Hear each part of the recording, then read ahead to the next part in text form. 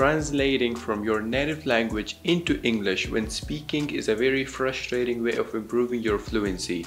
If you've done it, you already know that this is not a good way to speak. Instead, you should start thinking in English. When you do this, you don't get stuck anymore and your speaking becomes more fluent. That's why in this video, I have decided to share with you some smart ways you can think in English. When I was in high school, I used to think that if I memorize a lot of words and their meanings, I would become fluent. I tried it. I started learning words from my English book. I would memorize a word, then I would translate that word into my native language and learn its meaning. This method did not work. I still could not speak English. I had to think of a sentence in my native language. Then I had to translate that sentence into English in my head, and then I would say it out loud.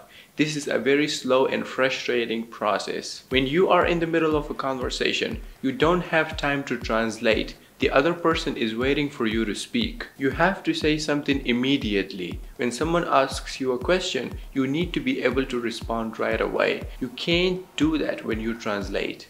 But when you think in English, during a conversation, your brain will automatically switch to English mode. You will know exactly what to say without translating from your native language. So how do you think in English properly and effectively? The first step is to name objects around you.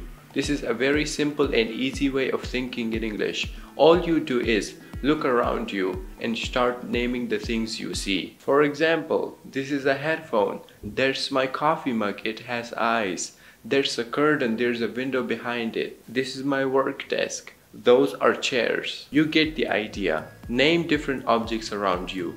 Do this exercise especially when you go out. When you go out for a walk or you go out to buy groceries, name the things you see. You don't have to say the names out loud. You can just think about the names in your head. But what if you don't know the name of a certain object?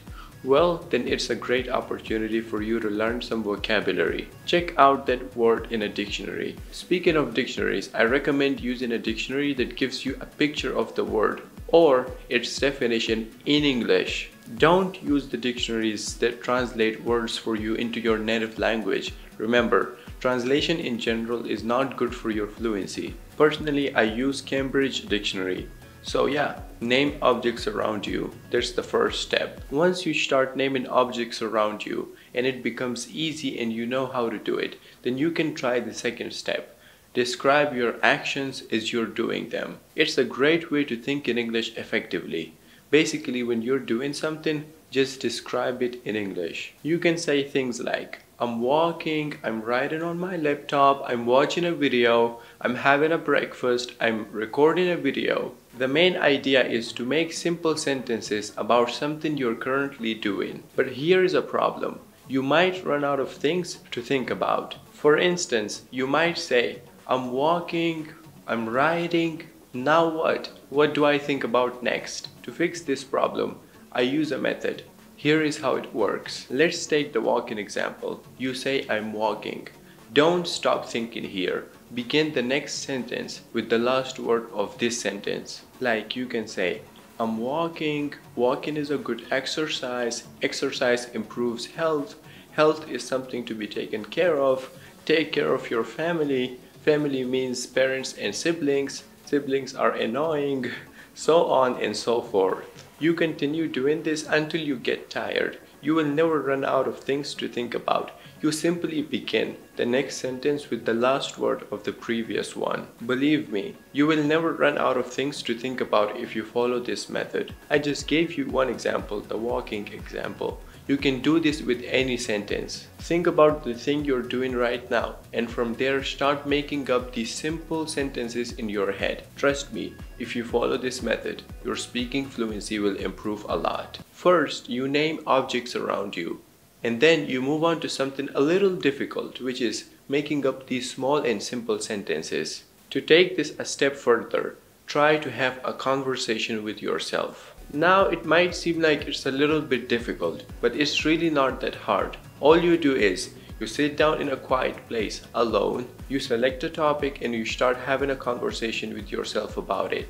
Make it seem like you're talking with another person, but don't say words out loud. Remember, this is all in your head. You're just thinking, you're not saying sentences. You're not talking with yourself. You're just thinking of having a conversation with yourself.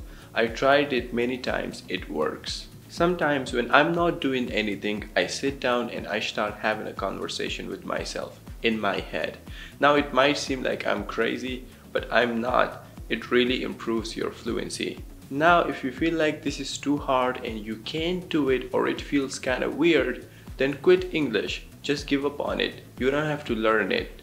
No, just kidding. Of course, don't give up. Commit. Don't quit. If having a conversation with yourself seems a bit difficult, then try the next step, which is to think about your dreams in English. We all have these fantasies or dreams, things we want to get. Maybe you want to get a yacht or a big mansion. We think about these things, we think about our future, but we do it in our native language. I want you to change that. I want you to think about your dreams and your future in English from now on. I want to get a million subscribers on my YouTube channel. I want to make a whole ton of money. I want to be famous. It always feels nice to think about our dreams. Why not think about them in English? Like, why not? Why not? Let's continue before I lose my mind. In a nutshell, first start naming objects around you. Then you move on to something a little more mature and a little difficult, which is to make up these small and simple sentences in your head. Describe your actions as you're doing them. Next, have conversations with yourself in English. If this feels a little awkward or weird, then think about your dreams and your future plans in English. Alright, start from today. Start from today. Start thinking in English for at least 10 to 20 minutes a day. You can choose a specific time for it or what I like to do is that I like to think in English whenever I feel like doing it.